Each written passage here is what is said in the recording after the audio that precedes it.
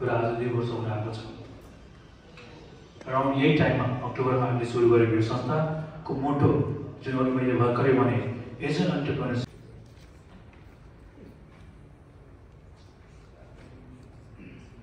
त्यसै गरी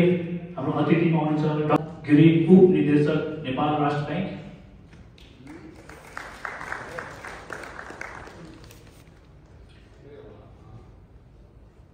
श्री गोकर्ण अवस्थी महानिर्देशक नेपाल उद्योग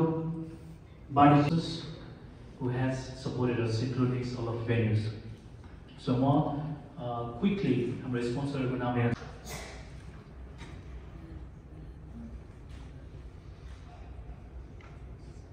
सबैको परिचय दिने क्रममा मैले आफ्नै परिचय बिर्सिएको छु। अब यो एन्टरप्रेनरसिप उद्यमशीलता भन्ने कुरा चाहिँ एउटा बजवर्ड भइसकेको छ। ओभरअल मैले यहाँ चाहिँ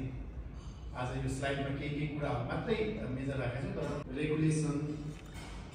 र विभिन्न नियम एन्ड कानुनहरूका कुराहरू जुन हामी गर्छौँ जुन हाम्रो त्यसमा टेकेर हामी निर्णयहरू जुन छ नेपालको आर्थिक समुन्नति विकासका लागि भन्नुभएको सम्भावना कुराहरू म अलिकति उजागर पनि गर्न चाहन्छु। यो प्रस्तुति अलि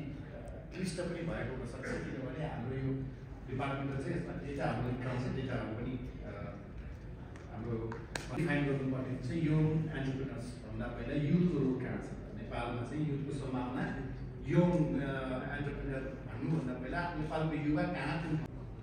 अहिले करेन्ट ल्यान्डस्केप के त भनेको अहिलेको स्थिति के त कहाँ राखेर कहाँ कुन ठाउँमा बसेर हामी यो इन्टरप्रिनरसिपको कुरा गर्दैछौँ? कुन कुन पृष्ठभूमि छ? हाम्रो ब्याकग्राउन्ड के छ भन्दा राइजिङ इन्ट्रेस्ट इन एन्टरप्रिनरसिप र अर्को गभर्मेन्टको सपोर्ट या अथोरिटीजहरूको सपोर्ट यो तिनवटा ल्यान्डस्केपमा हामी एन्टरप्रिनरसिप एन्टरप्रिनरसिपको सपना देख्न सकिरहेको छ हामीले हेर्ने भनेको एन्टरप्रिनरसिप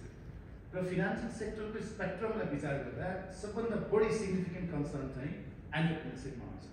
ए यहाँलाई म कुरा भन्नु एग्रिकल्चरमा जुन एकदम फास्ट डेभलप गरेका नेसन्सहरू छन् अस्ट्रेलिया भयो इजरायल यस्ता यस्ता कन्ट्रीहरूले भन्दा बढी त्यो प्र्याक्टिकल चाहिँ त्यसको वेटेज सिक्सटी पर्सेन्ट हुने फोर्टी पर्सेन्ट मात्रै थ्योरिटिकल अल एन्ड अल उसको सिकाइ र भोगाइ चाहिँ त्यस्तो हामी कहाँ चाहिँ त्यो चाहिँ थ्योरिटिकल अब अवस्था भयो। मेजर कुरा चाहिँ के छ भने अब यहाँको चाहिँ ब्याकग्राउन्डमा चाहिँ हामी त्यसै पनि इम्पोर्ट ड्रिभेन कन्ट्री हो। हाम्रो के छ भने तपाईँलाई एउटा सिम्पल कुरा भन्छु। अब र यसमा सबभन्दा बढी प्रस्पेक्टस भनेको क्षेत्र भनेको चाहिँ अब हामीले देखेको नेपालका युवाहरूले प्रविधिमा बढी पोख्त भएर प्रविधिहरू आउने भनेको टेक ड्रिभेन सल्युसनहरूमा हरेक कुरालाई हामीले चाहिँ टेक्नोलोजीले लिभरेज गरिरहेको छ तपाईँले सुन्नुभयो होला आर्टिफिसियल इन्टेलिजेन्सले कति कुराहरू चेन्ज गरिरहेको छ मसिन लर्निङ एल्गोरिदम छ हामी कतिपय कुराहरू व्यक्तिगत कुराहरूमा पनि समन्वय नमिलेर भन्छौँ नि कहिले कहिले अब वित्त नीति र मौलिक नीतिको समन्वय नमिलेर कहाँ कहाँ अर्थतन्त्र चाहिँ एक्साइटेड भयो समस्या आयो मन्दी कसरी चाहिँ ल्याउने कसरी उनीहरूसँग सहकार्य गर्ने बाटोहरू चाहिँ यहाँहरू विदेशमा शिक्षित गरेर आएका साथीहरू हुनुहुन्छ यङ एन्टरप्रेनर छ उहाँहरूले चाहिँ यो कुरा बुझ्नुपर्ने देखिन्छ